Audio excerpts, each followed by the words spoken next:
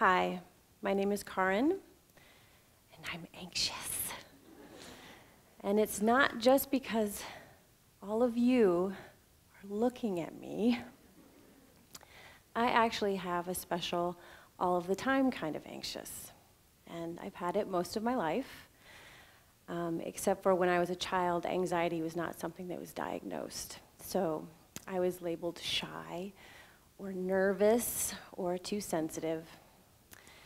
And um, how I interpreted that to mean was that I was weak and that I just needed to put on my big girl panties and deal with it. And I tried, I really did.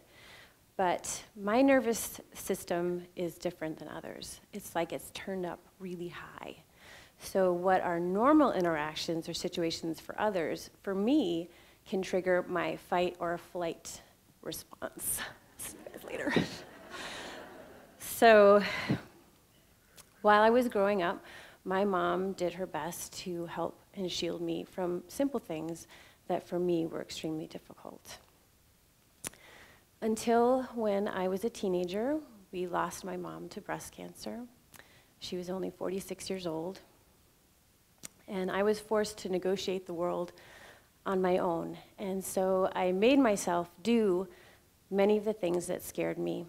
But I lived my life very cautiously and carefully, and I did not take risks, and I did not uh, pursue my dreams. So my childhood dream was to be an artist. I inherited my artistic talents from my dad.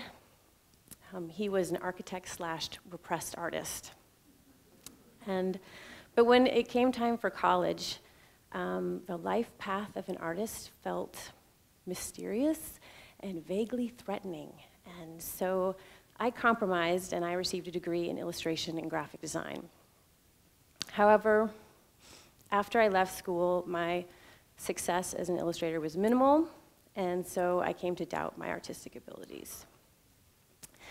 So, fast forward 10 plus years of my cautious and anxious life, and I was lucky enough to meet a wonderful man, and we got married, and we had the miracle that is my beautiful daughter. But everything changes when you have a baby. I don't know if you knew that, but it truly does including there's physical changes that actually happen to the mother's brain.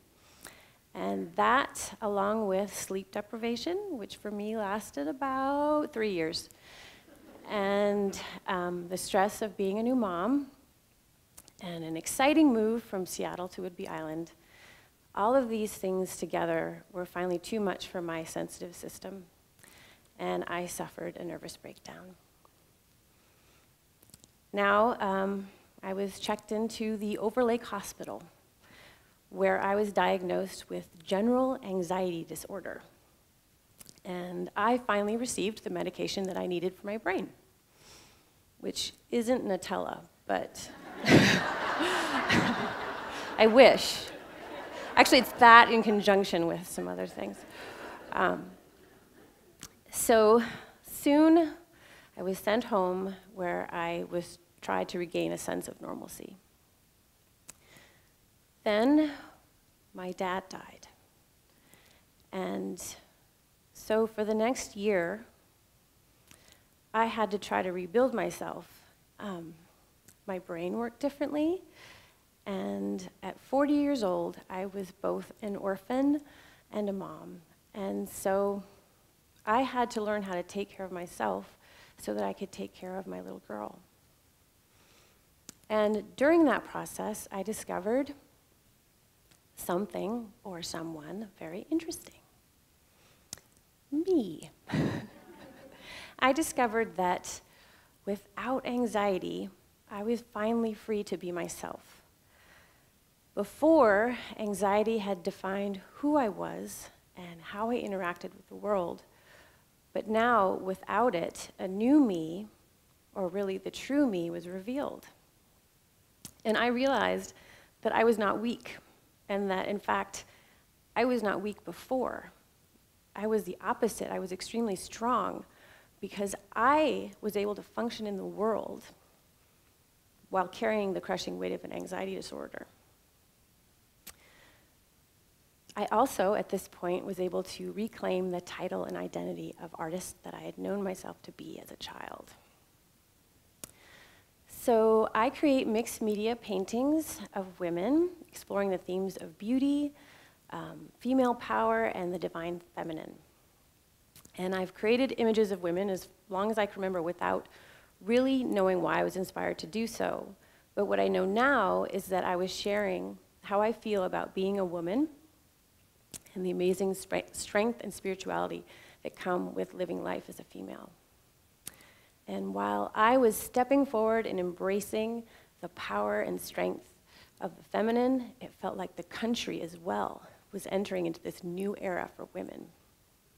One in which women were claiming their unique power and breaking glass ceilings.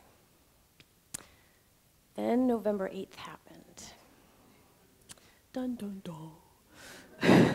and instead of supporting this, um, the rise of feminine energy and power, our country elected for president a man who had repeatedly made misogynistic comments, had been recorded condoning sexual assault. And so instead of the glass ceiling being shattered, it was my heart. So anxiety resurfaced. but this time, my relationship to it was different. Instead of making me want to retreat and hide, no, I still want to retreat and hide. but alongside the retreating and the hiding, I do actually want to do something. I, did, I wanted to do something, but I didn't know what.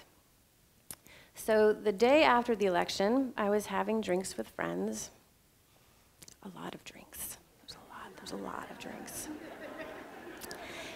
and one of them said to me, It is your responsibility to keep making your artwork.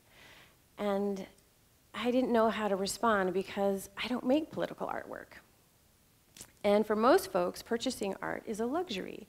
So I couldn't connect the dots between creating a luxury item with something that was needed in this new world. However, around this time, I purchased some artwork for myself, her. this poster of Hillary Clinton. Now, for me personally, Hillary represents commitment, the quality of commitment. She has dedicated her life to causes that are close to her heart, and she has pursued them regardless of what has been thrown at her you could say she persisted. Nevertheless, one could say that. Um, and I wanted to channel that same quality in myself. And so this purchase of this piece of artwork did not feel like a luxury to me. It felt like a necessity. It was a visual talisman that I needed to channel a quality to use in order to step forward and be an agent for positive change. And so that's when I had the light bulb. Ding, ding. Images have the power to awaken and inspire something within us. We are at a crossroads where the old rules of the patriarchy no longer serve us. I believe the feminine needs to take its rightful place alongside the masculine in order to heal and move forward for the evolution and the salvation of our species and our planet. I know, right? Thank you. So, my artwork can help facilitate that movement because when we surround ourselves with images of powerful women and the divine feminine, it activates our inner heroine so that she can step forward in the name of peace and in the name of justice and in the name of love. But I felt that I needed to do more than my artwork to match the level of outrage that I have been feeling on a daily basis. I don't know about you. Um, so, full disclosure, I have never been a particularly political or civic minded person. I have voted and given occasionally to the World Wildlife Fund, and I sort of thought I was good. That's enough. But After November 8th, that no longer felt like enough. So, I currently um, volunteer with two other amazing women, um, co-administrating a, face- local Facebook group, progressive Facebook group, and we've created a community where um, people can get together for support and activism. It's called Rise Together Whidbey, and it is now at 600 people and growing, local.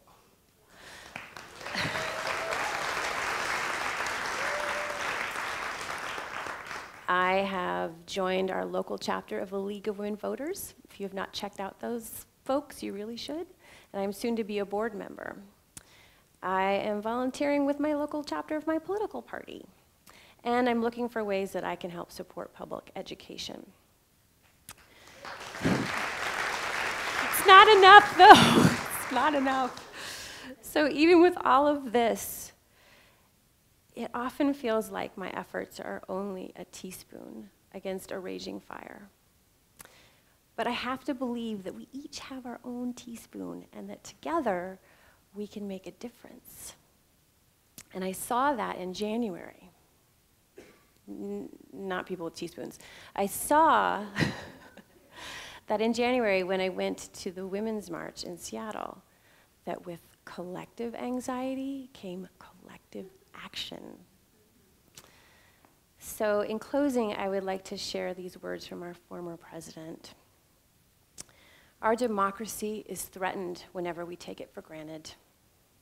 All of us, regardless of party, should be throwing ourselves into the task of rebuilding our democracy. It falls to each of us to be those anxious, jealous guardians of our democracy. Thank you.